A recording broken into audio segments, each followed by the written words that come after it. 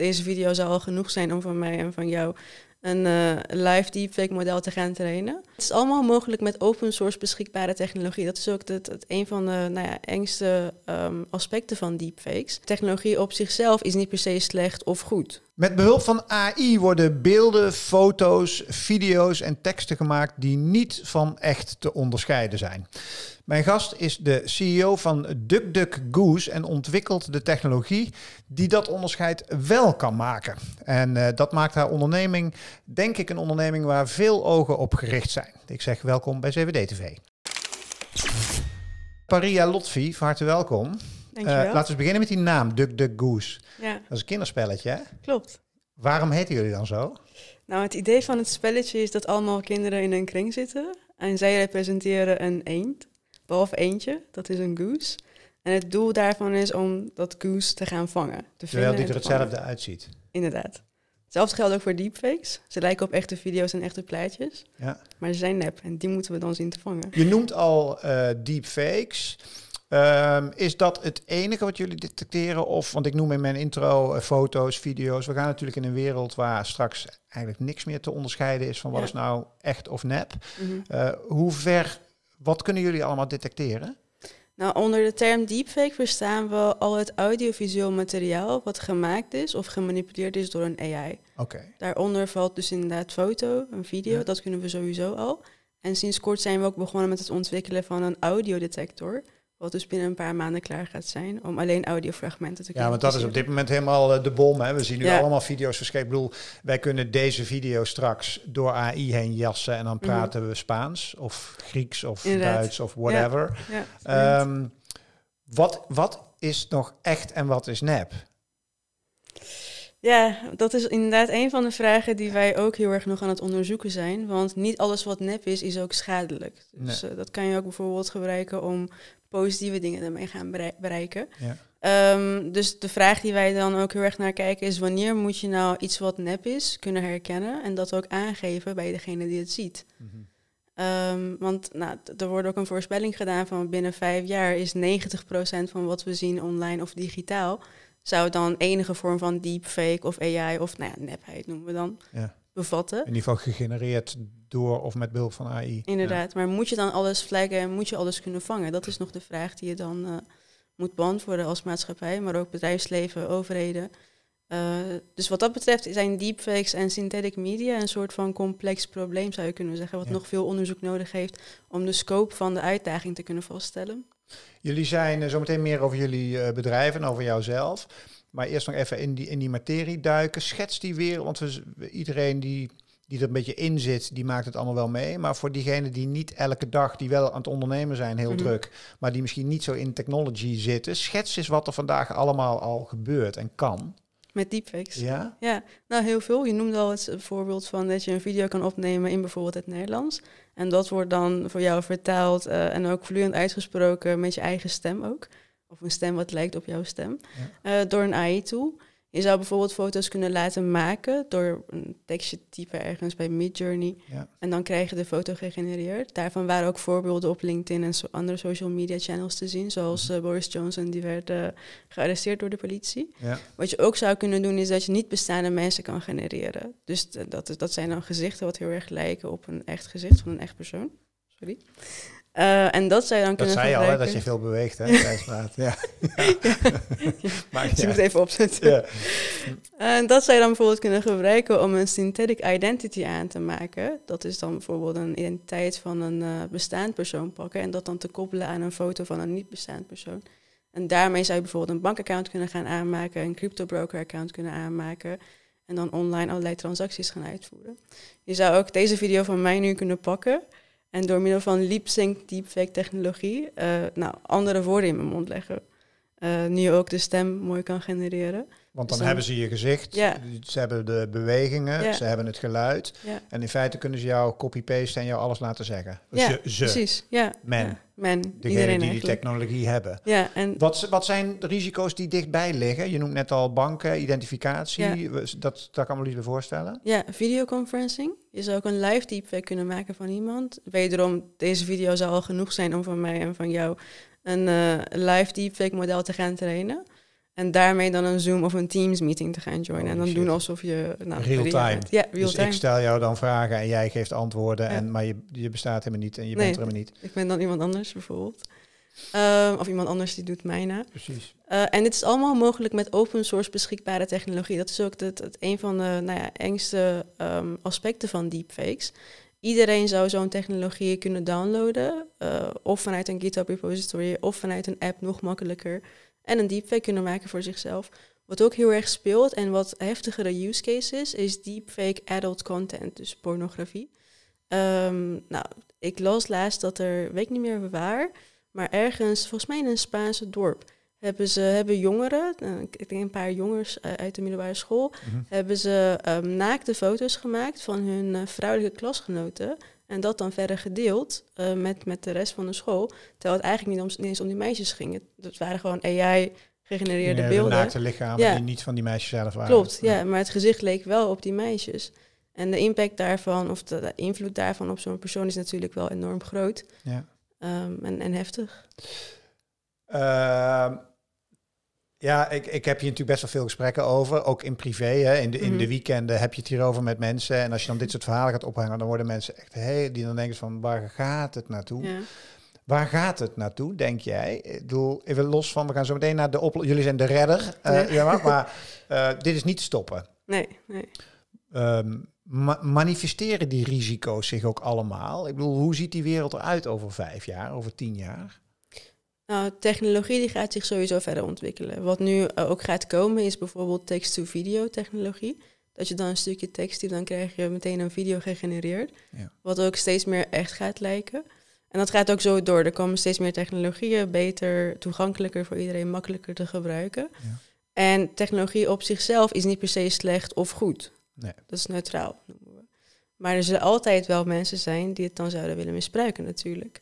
Maar dan zou je kunnen zeggen, nothing changes, want dat is altijd al zo geweest. Precies. Ja. Alleen eh, dan komen er dus nieuwe vormen van misbruik. En het is ook veel schaalbaarder. Bijvoorbeeld Ja. het bewerken van beeld heeft al, bestaat al heel lang. Maar het is nog nooit zo schaalbaar en makkelijk geweest Ja. om, om het uit te voeren. En dan komen jullie in beeld, Ja. eh DuckDuckGoose. Ehm schets het bedrijf eens even.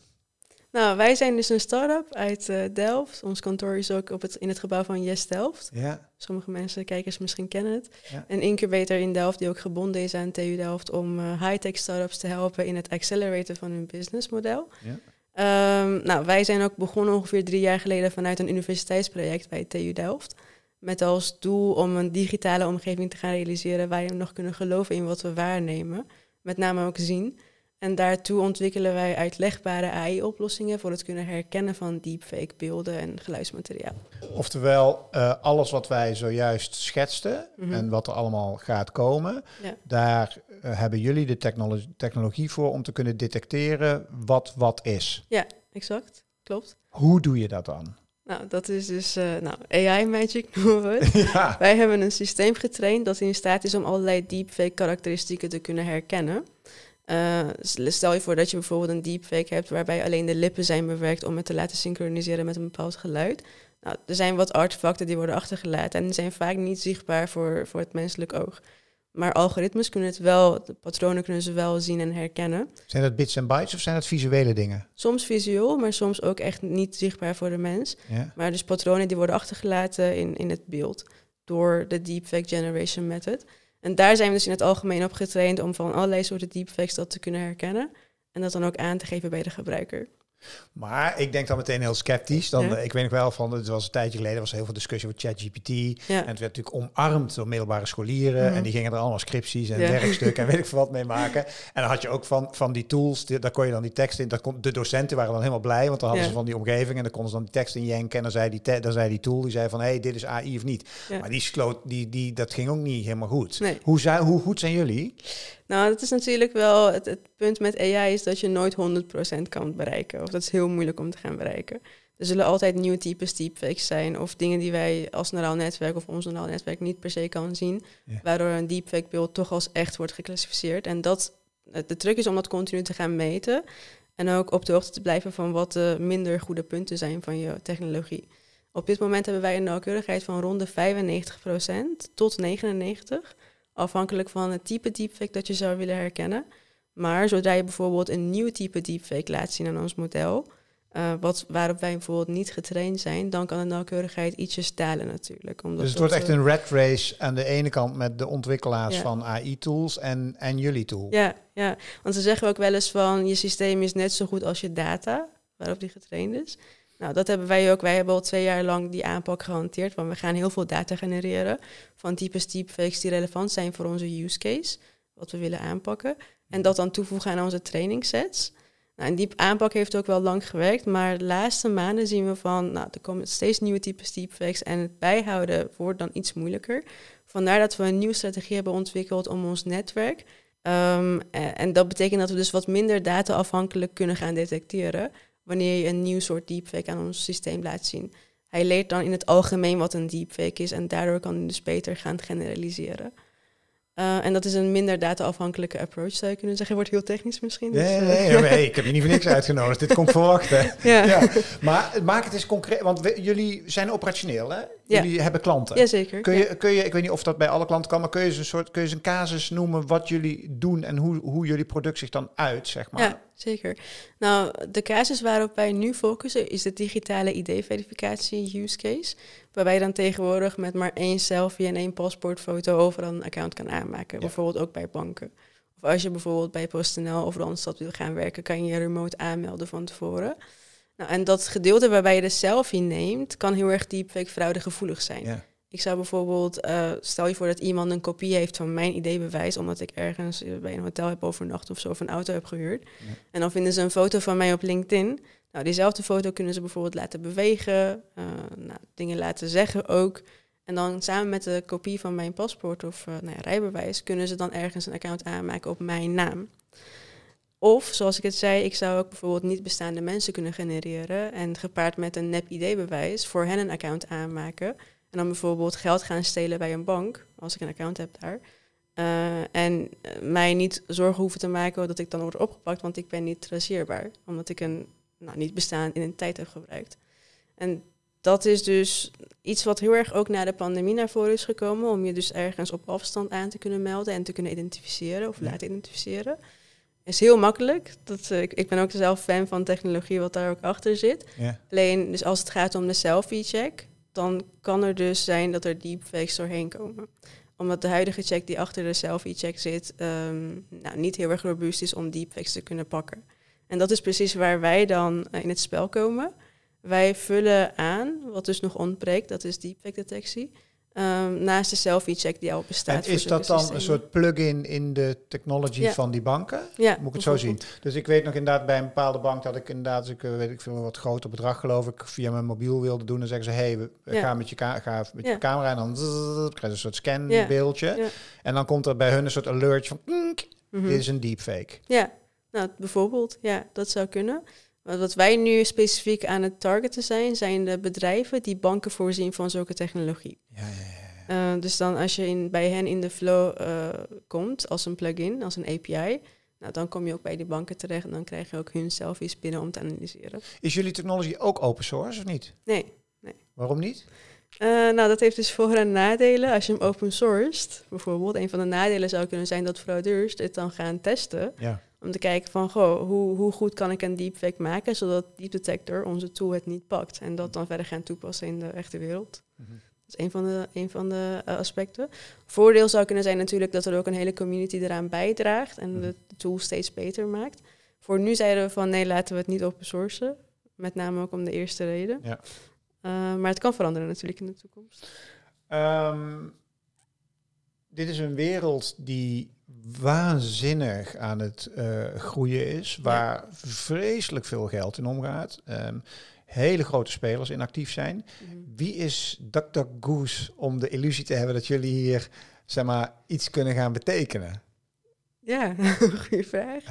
Nou, wij richten ons al drie jaar op, op uh, nou, dit idee van deepfake detectie. Ook een van de eerste start-ups die hieraan uh, begonnen is om deepfakes aan te pakken. En natuurlijk kan het zijn dat op een dag een Google of uh, Microsoft of Intel, wat ze nu al doen eigenlijk, Intel heeft ook een deepfake detectie ja. ontwikkeld en daarmee dan de markt ingaat. Ehm, alleen wat wij, dus wat wij zeggen is van stel je voor dat Intel een soort van army heeft van engineers die deepfakes kunnen herkennen. Dan zijn wij de specialized forces die eigenlijk al drie jaar hier uh, tijd en knowledge en alles aan hebben uh, gespendeerd om het zo goed mogelijk te krijgen. Om ook een voorbeeld te noemen. Dus Intel heeft een paar maanden geleden gezegd van wij hebben een deepfake detector. En ik was helemaal bezorgd van god, Intel komt nu naar Microsoft. Jongens, wat gaan we doen? Uh, toen dachten we van oké, ten eerste onze use case is al heel specifiek, digitale ID-verificatie. Dus misschien gaat Intel zich daar niet op richten. Dus laten we even geen zorgen maken. Mm Wij, onze tool is ook al best wel goed voor, die, voor de use case, dus erg goed eigenlijk al. Beter dan Intel eigenlijk. Ja, dat zagen we ook later, kom ik zo op. Uh, dus laten we voorlopig geen zorgen maken, kijken hoe het gaat en gewoon ons eigen ding doen. Intel ook een beetje in de gaten houden, maar laten we verder gaan met onze eigen pad. Uh, een paar maanden later hebben een aantal journalisten, denk ik, de tool van Intel getest om te kijken hoe goed hij nou presteert uh, op onafhankelijke data. En wat bleek was dat hij inderdaad heel goed was in het herkennen van deepfakes. Maar ook heel goed was, of eigenlijk heel slecht was, in het herkennen van echte beelden. Dus echte beelden werden ook als deepfake geclassificeerd. Nou, dan ga je natuurlijk nadenken van in hoeverre heeft de deepfake-classificatie een waarde dan, als je alles als deepfake gaat klassificeren. Mm -hmm. uh, dus toen zagen we van oké, het is uh, nog geen zorgen. er is geen uh, hele goede technologie nog in de markt, of veel betere zeg maar dan die van ons, die ons zou kunnen inhalen. Aan de andere kant, stel je voor dat er nog meer bedrijven als Intel uh, hieraan uh, gaan werken, is ook een soort van bevestiging voor ons dat wij. Dat er markt is. Precies, dat er een ja. markt is, ja. ja. En deepfakes hebben sowieso een ja, heel, uh, hele brede toepassingsmogelijkheden, zou je ja. kunnen zeggen. Dus videoconferencing, zoals ik het zei, nieuws en media, adult content. Dus daar kun je ook in specialiseren. Precies, of, ja. uh, jullie zijn de special forces op dat gebied. Ja. Met inmiddels uh, ongeveer 15 mensen. Ja. Drie founders, hè? Ja, drie founders. Hey, en uh, misschien wel leuk, een klein zijstapje, maar ik sprak je net even van tevoren, wel interessant. Je kwam als 12-jarig meisje, kwam je uit ja. het verre Iran uh, hier ja. naartoe gevlucht met je hele familie. Ja. Wat waren toen je ambities, toen je 12 was en in het asielzoekerscentrum zat? Oh, goede vraag. Uh, mijn ambities? Nou, ik weet nog dat ik in het begin het heel erg moeilijk vond om, om te gaan integreren, als het ware. Dan zit je in een omgeving wat, wat je nog nooit hebt gezien, in een heel ander land, hele andere mensen, hele andere taal. Ik sprak geen enkel woord Nederlands volgens mij. Mm-hmm. Het enige wat ik van Nederland wist was het elftal. Die waren nog heel erg goed. Uh, zijn nog steeds ook wel goed. En, ja. en kaas. um, uh, dus het heeft me wel tijd en moeite gekost om eigenlijk door die fase heen te komen. Van oké, okay, hoe ga ik me nou eigenlijk aanpassen aan mijn nieuwe leven? Wat mijn ambities waren destijds. Ja, ik wilde al vanaf mijn jeugd, ik denk vijf, zesjarige leeftijd, al gaan ondernemen. En wat het zou worden, maakte me niet zoveel uit. Het kon ook een cafeetje zijn bijvoorbeeld. Met en, en waren je ouders ondernemend? Uh, ja, mijn vader wel. Ja. Oké. Okay. Ja. En nu ook in Nederland weer, of niet? Een tijdje geweest, nu niet meer. Nu is okay. hij in loondienst. Maar en komt dat daar vandaan dan? Uit de roots, dat onder, die, die lust om te ondernemen? Of? Zou kunnen, want ik heb ook een groottante die uh, nou, voor mij een heel, hele inspiratie is geweest, zou je kunnen zeggen. Mm -hmm. Zij woont in de VS, uh, ook op een hele jonge leeftijd daar naartoe gegaan om te wonen. Ik denk dat ze 16 was of 17, is in haar eentje daar naartoe gegaan in Texas. En zij is heel erg actief geweest op, op het gebied van real estate. Nog steeds nu ze 75 is. Werkt ze elke dag als uh, ondernemer met uh, heel veel passion en. Uh, en zij is een role model voor je. Ja, ja. Ah, ja. Dus ook dat heeft bijgedragen, denk Oké, ik. dus dat ondernemen dat zat er al vrij snel in. Toen ben je gaan studeren. Ja. en hoe kwam je die andere twee founders tegen tijdens je studie? Ja, Mark ben ik tijdens mijn studie tegengekomen. Want dus zoals ik het zei, wij zijn vanuit een TU Delft project begonnen. Uh, in het kader van de minor tech-based entrepreneurship. Daar heb ik ook Mark gezien. Hij doet een andere studie uh, dan mij. Hij doet um, mechanical engineering, dus uh, dat is werktuigbouwkunde. toen zijn we dan samen, zeiden na, na, de minor, na de minor zeiden we van laten we kijken of we hier een echte start-up van kunnen opzetten.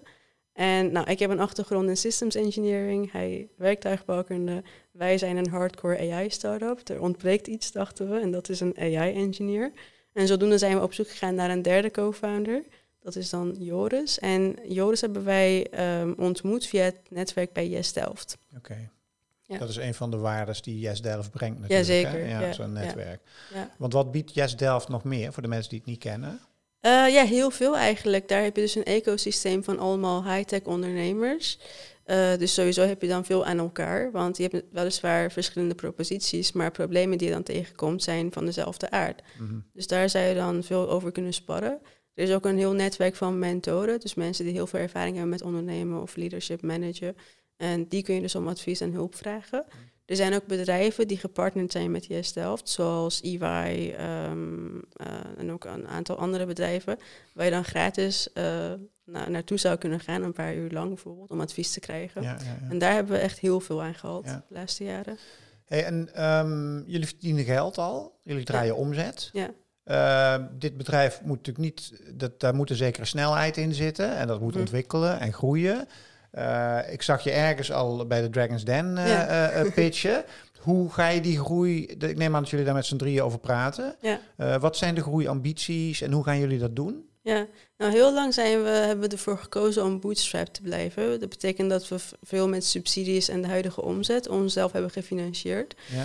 Uh, maar nu komt er echt een tijd waar, waarbij we denken van, nou, nu, moeten, nu kunnen we echt gaan groeien. Er zijn een aantal hele mooie potentiële klanten in de sales pipeline die nu de, de, software aan het testen zijn. Is het dus overheid of, uh, of wat voor soort klanten zijn dat? We hebben al klanten vanuit de overheid. Ja. Maar waar ik het nu heb, zijn dus bedrijven die bijvoorbeeld banken voorzien precies, van de... echt technology bedrijven. Ja, ja. het zijn ook vaak Amerikaanse bedrijven, multinationals, supergroot. Um, dus ja, we zien wel echt nu dat er een momentum is om te kunnen gaan, om te gaan opschalen. Uh, dus vandaar dat we ook voor het eerst uh, een soort van pre-seed noemen we het nu uh, fundingronde aan het opzetten zijn. Ah. En daarbij ook uh, kijken van, ja, kunnen we tot een bedrag van 1 miljoen ophalen om verder te gaan groeien. Onder betere voorwaarden dan de Dragons uh, jullie boden. Ja, mm. iets betere voorwaarden. Ehm, dus dat zijn jullie nu aan het vormgeven. Ja. En je kan er natuurlijk op wachten als jullie nog een paar stappen, want dit gaat lukken. Mm -hmm. Hebben jullie dat? Ja, oké. Okay. Ik neem aan dat je daar ook weer vanuit je netwerk, want dan moet natuurlijk ook keihard geonderhandeld worden en zo. Wie doet dat dan voor jullie drieën? Ben, je, ben, jij dan de... Ja, ik, ja. ja? ja. Je bent CEO, hè?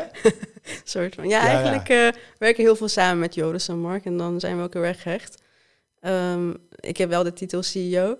Maar nou, op, op dagelijkse basis doen, doen wij alle drie van alles Snap eigenlijk. Ik. Maar als er hard onderhandeld moet worden met van die finance-types, uh, dan doe jij dat? Um, ja, we, we, doen het samen meer. Okay. Misschien dat ik het woord even, zeg ja, maar, de meeting even leid, maar we, we doen het wel samen okay. met z'n drieën. Je kan natuurlijk wachten, een paar stappen. Dit, dit gaat allemaal lukken. Je gaat nog een paar stappen groeien. Straks heb je een mannetje of 80, weet ik veel. Mm -hmm. uh, en dan komen de partijen om de hoek en die willen jullie kopen. Ja. En dan? Nou, daar hebben we ook wel eens over gesproken. Wij staan altijd voor open om bijvoorbeeld binnen ja, vijf tot zeven jaar een exit te doen. Dat is ook heel erg gebruikelijk in de industrie waarin we werkzaam zijn. Dat dit soort idee-verificatiepartijen start-ups kopen om uh, nou ja, onder hun eigen vleugel ja. te laten opereren. Ja. Dus dat is gewoon eigenlijk het plan? Uh, ja, ja voor, voor, nu wel. Ja. Oké. Okay. Ja. Nou, ook dat gaat lukken. Mm -hmm. Dus dan ben je, je bent nu 27 hè?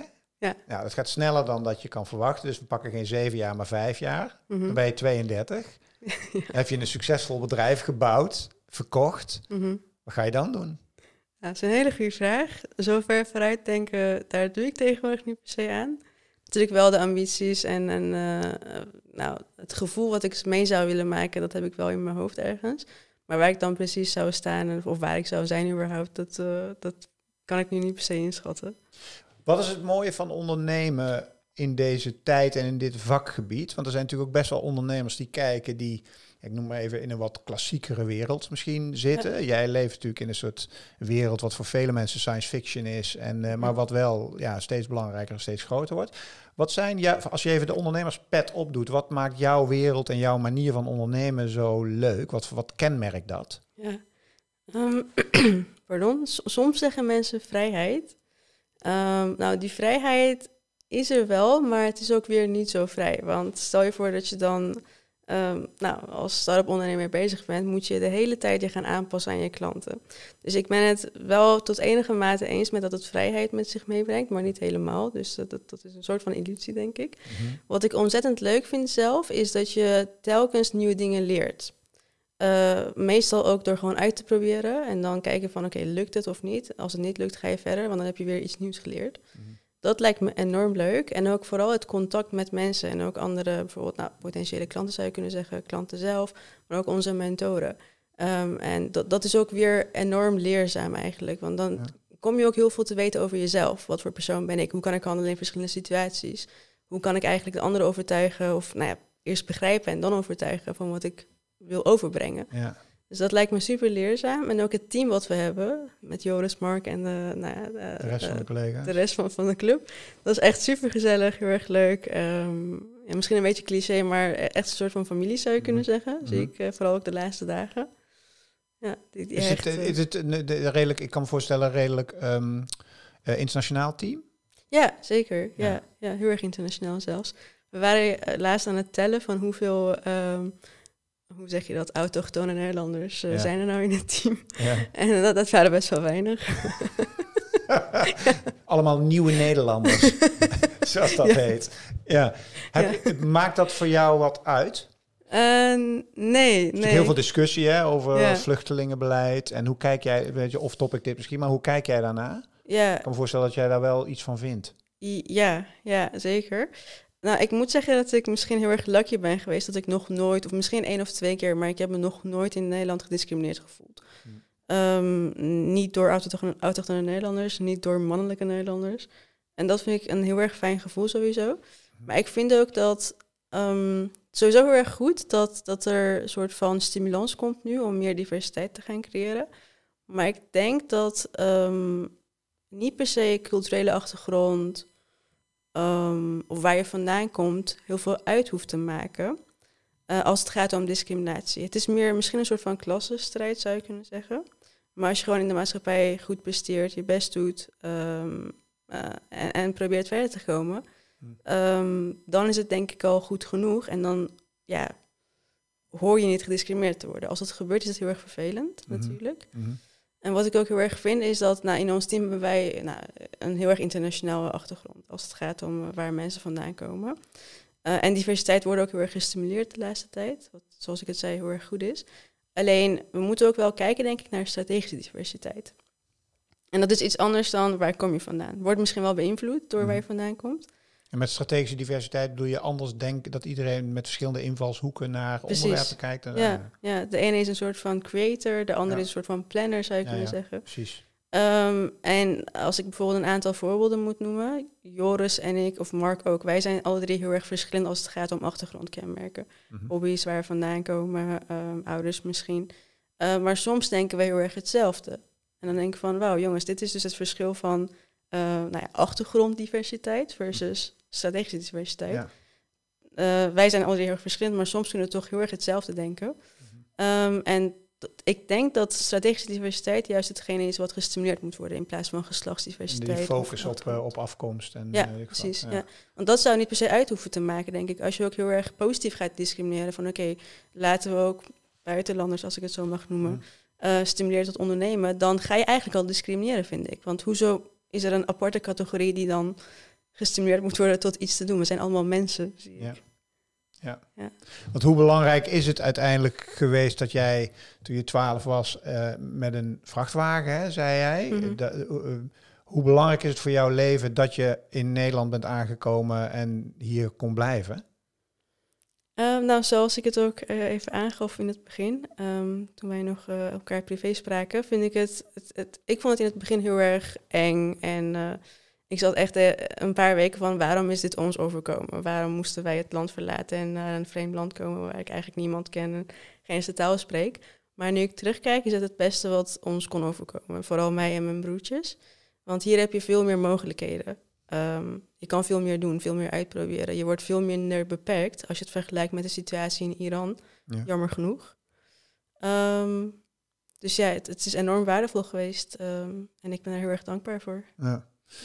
Ik wens jou enorm veel, ehm, eh, hoe moet ik het zeggen, focus de komende jaren. Vooral eh, los van plezier en, Mhm. en, en spannende dingen die jullie allemaal gaan ondernemen. Maar vooral ook heel veel focus. Ik wens je heel veel succes. En eh, ik ga Duck Duck Goose in de gaten houden de komende jaren. Dankjewel dat jij mijn gast wilt zijn. Dankjewel voor de uitnodiging. Dat was echt leuk. En eh, dankjewel voor het kijken eh, naar weer een eh, prachtig ondernemersportret... waarin we een klein beetje een kijkje hebben kunnen nemen... in die wonderenwereld van AI die nog maar net begonnen is. En heb je zitten luisteren naar de podcast, dankjewel voor het luisteren. Voor nu, hoi.